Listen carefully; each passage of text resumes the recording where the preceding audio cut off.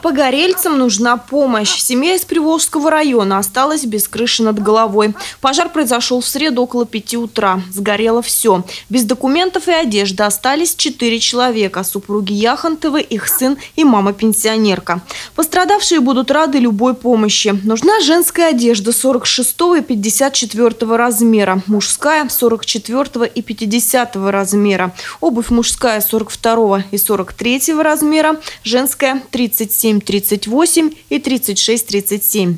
Реквизиты банковской карты и телефоны для связи вы сейчас видите на экране. Ольга Яхонтова известная в регионе зоозащитница. На данный момент ее семья ютится у знакомых. А вот животных, которые находились на передержке, пристроить пока не удалось.